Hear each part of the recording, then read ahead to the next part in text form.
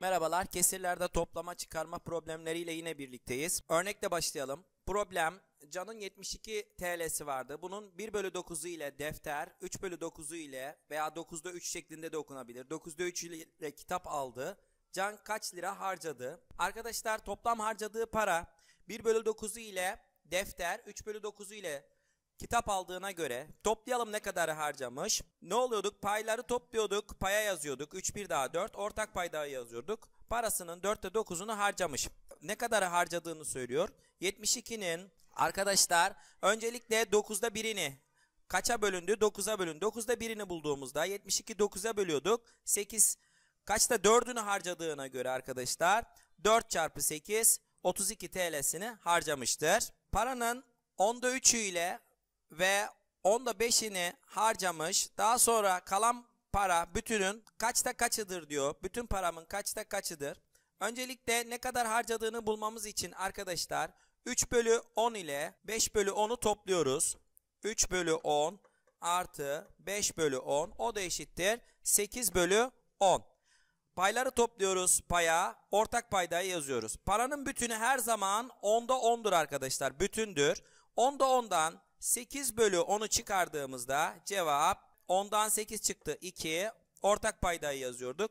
Ne kadarı kalmıştır? Paranın 2 bölü 10'u kalmıştır. Örnekle devam edelim. 8'de 3'ü dolu olan bir havuzun 8'de birini birinci musluk, 8'de ikisini ikinci musluk doldurdu. Havuzun kaçta kaçı doldu? Arkadaşlar öncelikle 3 bölü 8'i dolu artı 1 bölü 8 birinci musluk artı 2 bölü 8 ikinci musluk doldurdu. Toplam ne kadar dolduğunu bulmak için ne yapıyoruz? Topluyoruz. Paydaları eşit toplama işlemi nasıl oluyordu? Paylar toplanıp paya yazılıyordu. 3, 1 daha, 4, 2 daha, 6. Ortak paydayı yazıyorduk. Ne kadarı dolu olmuş olur? 6 bölü 8'i dolu olmuş olur. Cevabımız C şıkkı. Bir tren 120 kilometre yolun önce 5'te ikisini sonra 5'te birini gitti. Toplam kaç kilometre yol gitmiştir? Arkadaşlar öncelikle ne kadar gittiğini bulmak için 2 bölü 5'ini artı 1 bölü 5'ini gitti. Toplam paylar toplanır paya yazılır. 3 bölü 5'ini gitmiş olur.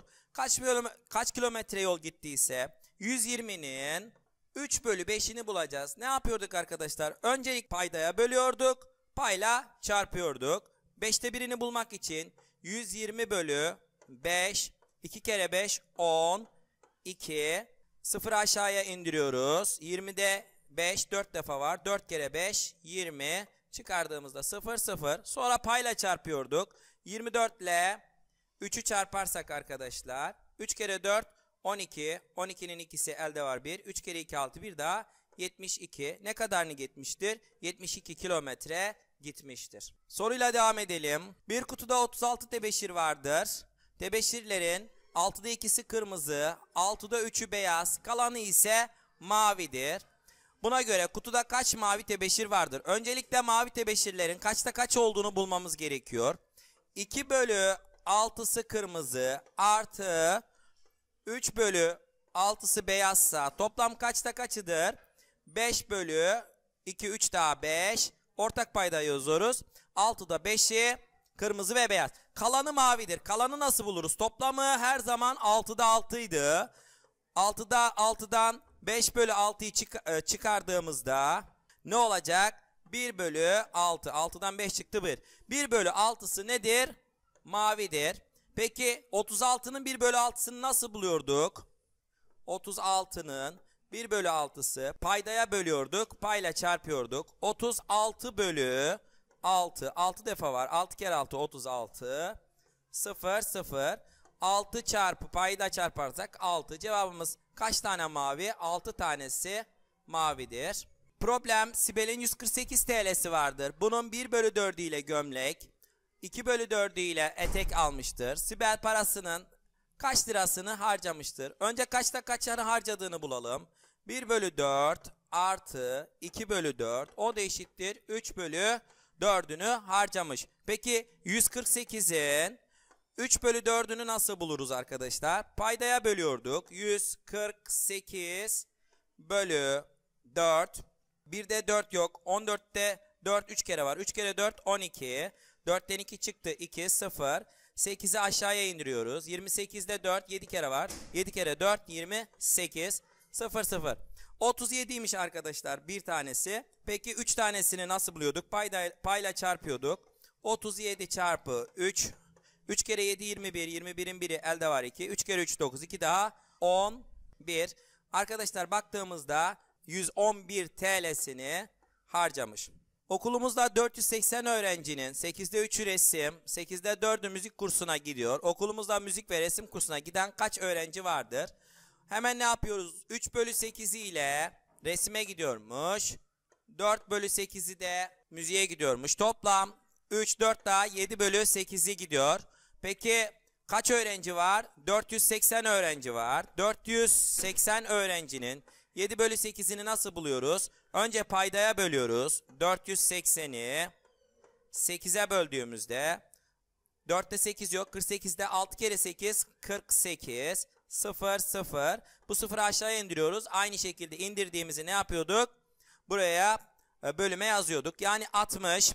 Sonra payla çarpıyoruz. 60'ı 7 ile çarptığımızda 7 kere 0 0 7 kere 6 42 420 öğrenci kursa gitmiş. Bir sınıfta 40 öğrenci vardır. Bu öğrencilerin 5'te 2'si futbol, 5'te 1'i basketbol, geri kalanlar ise masa tenisi oynamaktadır. Bu sınıfta kaç öğrenci masa tenisi oynamaktadır? Öncelikle masa tenisinin kaçta kaç olduğunu bulmamız lazım. Arkadaşlar 2 bölü 5'i artı 1 bölü 5'i o da eşittir 3 bölü 5. Geri kalanı diyor tamamı kaçtır? 5 bölü 5. 5 bölü 5'ten 3 bölü 5 çıkarırsak ne olur? 2 bölü 5. Bu masa tenisine gidiyor.